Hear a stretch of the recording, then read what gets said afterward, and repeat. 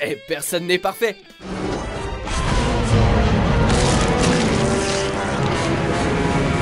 Bienvenue sur Watch Mojo français. Aujourd'hui, nous faisons le décompte du top 10 des mauvais jeux réalisés par des bons développeurs. I need you to be my eyes in there. Report back anything you see so I know what I'm up against. Nous publions de nouvelles vidéos chaque jour, alors abonnez-vous pour être au courant des nouveautés excitantes. Pour cette liste, nous passons en revue les jeux vidéo issus de studios traditionnellement reconnus pour les expériences vidéoludiques géniales qu'ils produisent, mais qui, pour une raison ou pour une autre, ont sorti les titres suivants, pourtant bien en dessous de leur standard. Ne confondez pas avec les mauvais jeux des bons éditeurs, car si Surfing Age 30 affiche le logo de Rockstar, ils n'ont pas réalisé le jeu et échappent donc à cette liste. Numéro 10, Haze Free Radical Design. Feeling good, buddy? You look psyched, hell. You look so good, I wish I was you. It's gonna be a fun day. On débute notre liste avec ce FPS très moyen réalisé par l'ancienne équipe de Rare, celle qui nous a offert la série des Time Splitters. Dans ce jeu, on contrôle un soldat, Shane Carpenter, qui travaille dans une société nommée Mantel, qui combat la résistance sous la forme du groupe Promise End dans un futur dystopien. Crazy stuff happening out there in Boa.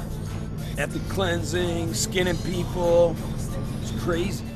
Avant sa sortie, Haze était vendu comme le jeu qui surpasserait Halo, en contenant même un message anti-guerre comme dans le film Apocalypse Now. Mais il n'est pas à la hauteur de ses attentes et a été critiqué pour sa campagne courte, ses graphismes moches et sa tonne de bugs. So? You gotta take them down before they can pick it up. Boosh! Numéro 9, Whiplash Crystal Dynamics.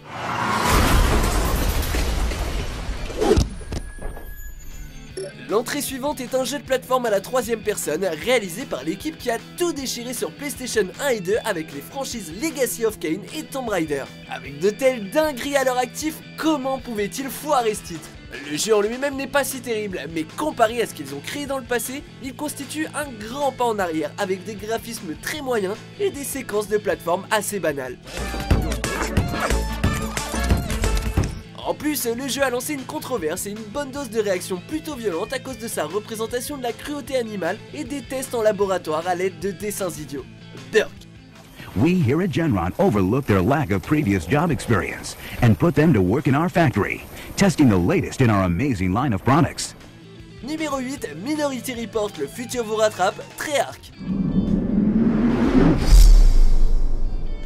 Vaguement basé sur le film à succès du même nom, ce beat'em all n'est pas vraiment à la hauteur des frissons fournis par le film. Une fois de plus, le jeu n'est pas totalement mauvais, mais il est tellement médiocre qu'on aurait préféré que Tom Cruise arrête le crime qu'est ce développement avant qu'il n'arrive.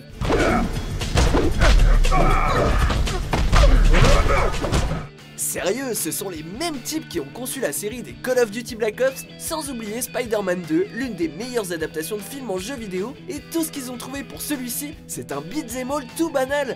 Le futur nous rattrape, ok, mais ce jeu ne nous rattrapera pas. Barry, give the man his hat. Numéro 7, la légende de Korra, Platinum Games.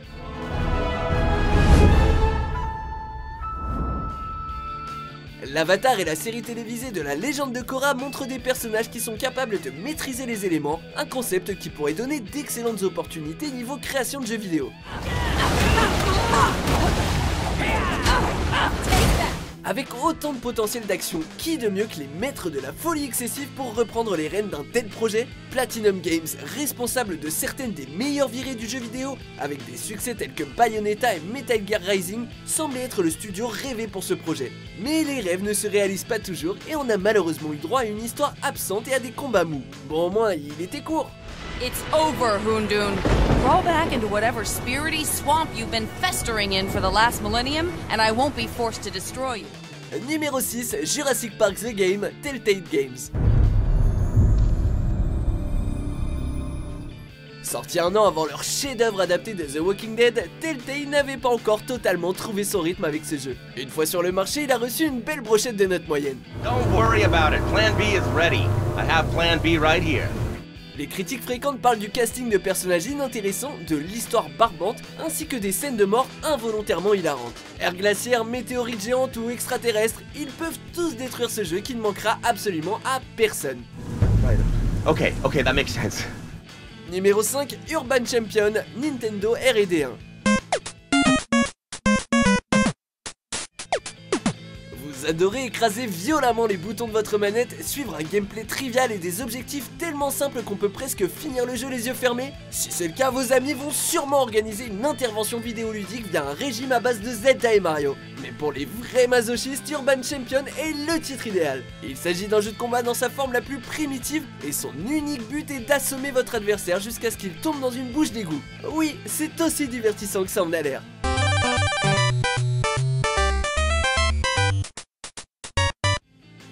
Numéro 4, Shrek Dice.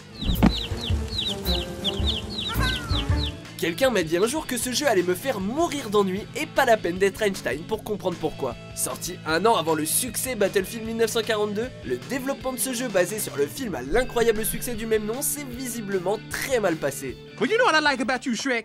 You got that kind of I don't care what nobody thinks of me thing. I like that. I respect that, Shrek. You alright. Ce jeu consiste en plusieurs couches de médiocrité par-dessus des couches de mauvais, elles-mêmes recouvrant des couches d'affreux. Le level design est pété, les objectifs insipides et l'animation de marche du héros est à la fois ahurissante et difficile à contrôler. Mieux vaut jouer au simulateur de Shrek Slenderman.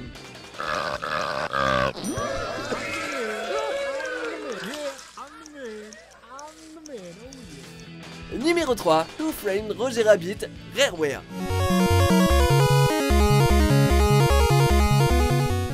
Qui veut la peau de Roger Rabbit Non, en fait la vraie question c'est comment un jeu aussi désastreux a-t-il pu voir le jour? Le plus choquant, c'est que ce jeu a été développé par la société qui allait dominer l'ère de la Super Nintendo et de la Nintendo 64 avec des succès critiques tels que GoldenEye, Banjo-Kazooie et la série des Donkey Kong Country.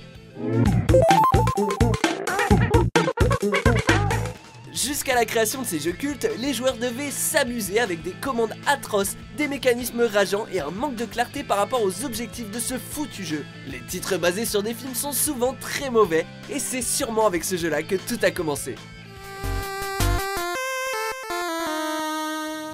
Numéro 2, Way of the Warrior, Naughty Dog.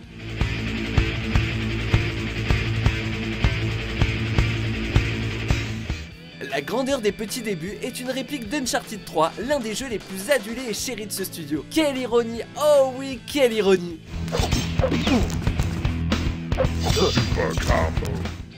Ne possédant absolument aucune grandeur des petits débuts de cette société, Way of the Warrior est un jeu de combat creux et sans âme qui s'inspire d'un autre jeu de combat centré sur un tas de mortels. Mortels Combat Et oui, il s'agit d'un clone de Mortal Kombat si vous ne suiviez pas et d'une pâle copie de la série en question dans tous ses aspects. Les combats sont maladroits, les graphismes mauvais et la musique des White Zombies est très gênante.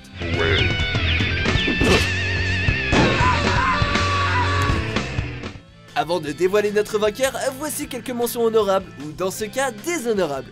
Ah, the montage scene where Bigfoot gets the girls' soccer team to dance.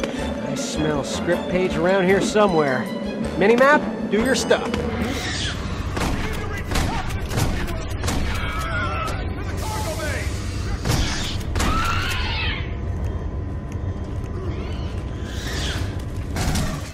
Numéro 1, Steel Battalion Heavy Armor From Software.